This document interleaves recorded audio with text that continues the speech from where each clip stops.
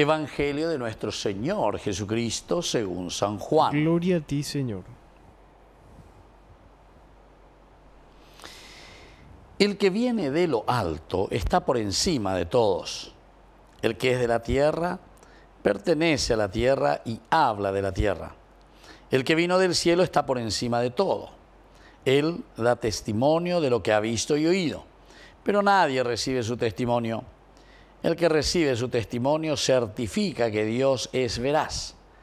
El que Dios envió dice las palabras de Dios porque Dios le da el Espíritu sin medida.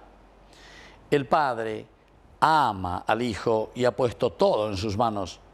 El que cree en el Hijo tiene vida eterna. El que se niega a creer en el Hijo no verá la vida, sino que la ira de Dios pesa sobre él. Palabra del Señor. Gloria a ti, Señor Jesús.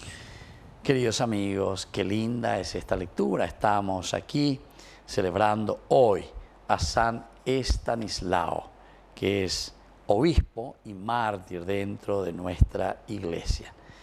Estamos caminando siempre en este tiempo de la Pascua.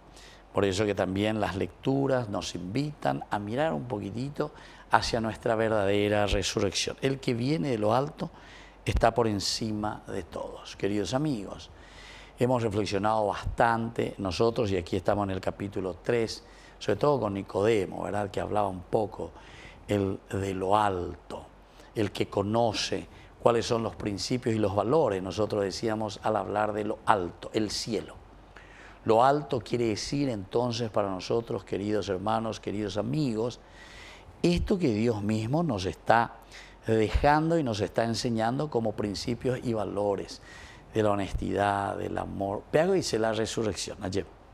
Resurrexit quiere decir mirar justamente hacia lo alto, mirar justamente hacia arriba. Eh, Pablo también dice, no busquen las cosas de abajo, busquen las cosas de lo alto, miren hacia arriba. Todo entonces son terminologías simplemente para decir que miremos estos valores que Dios nos regala. Por eso la honestidad es uno de los elementos esenciales, la honestidad. No podemos nosotros ser deshonestos y decir que somos cristianos. No podemos, queridos hermanos, tener ciertas actitudes que van totalmente contra el Evangelio de Jesucristo. El que es de la tierra pertenece a la tierra. El que es de la tierra, añadigo el que es de la tierra, el que busca simplemente sus bienes. Incluso yo digo, ¿verdad? pero eso ya dentro de un aspecto también más bien filosófico, en los grandes filósofos, si uno comienza a mirar, yo miro poco los filósofos un poquitito más antiguos, ¿verdad? Eh, que tenemos expresiones incluso para decir el famoso Maquiavelo, ¿verdad? Maquiavélico. Entre nosotros hay muchísimos, ¿verdad? Eh. Yo alguna vez escucho, eh, algunos dicen, no, se anda estudiar la filosofía, se anda ya apoya la estudio, pero sé, allá la filosofía paraguaya. Eh. A mí por nada cierto, digo. Pero que en el fondo, en el fondo es una filosofía maquiavélica, ¿verdad? Si le vamos a dar un nombre, si le vamos a dar un nombre o sea, el estilo, cómo busca. Para llegar a mi objetivo, a mí no me interesan los medios, no me interesa ningún medio. Sei que atua yucá, y que atua a peru, hoy me da a cane, y que atua a mondá, y que atua a yapola, yapola, pero sé, a ese objetivo. Ese pues es, es el centro, el caracúgina de la filosofía maquiavélica. Y por eso yo digo, queridos amigos, aquí nosotros lastimosamente, eh, Jesús dice, el que es de la tierra pertenece a la tierra y habla de la tierra y busca las cosas de la tierra y vive de acuerdo a las cosas de la tierra. Hasta yo diría, esa tierra, llega todavía lleva, y el que está en la tierra es la lombriz, o sea, nos manejamos como lombrices, como gusanos, somos gusanos al final de cuentas, ¿verdad? Y así andamos, lastimosamente. Sin embargo, el que vino del cielo está por encima de todo. El que viene del cielo. Él da testimonio de lo que ha visto y oído. Él da testimonio, viene del cielo.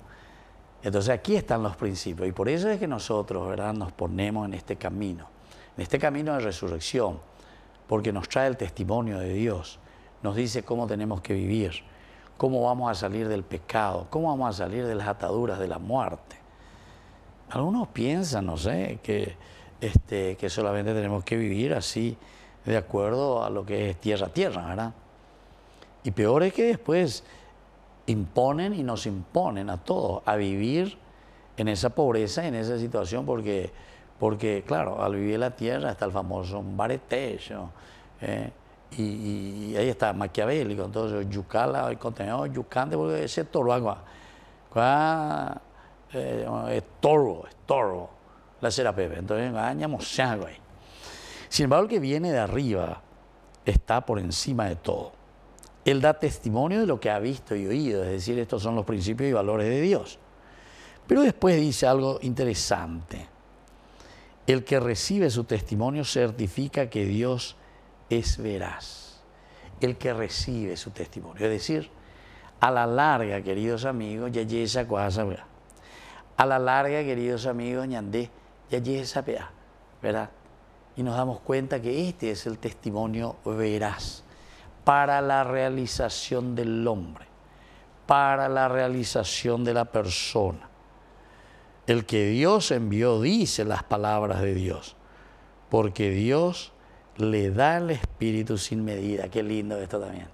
Este es un regalo divino, este es un regalo del resucitado.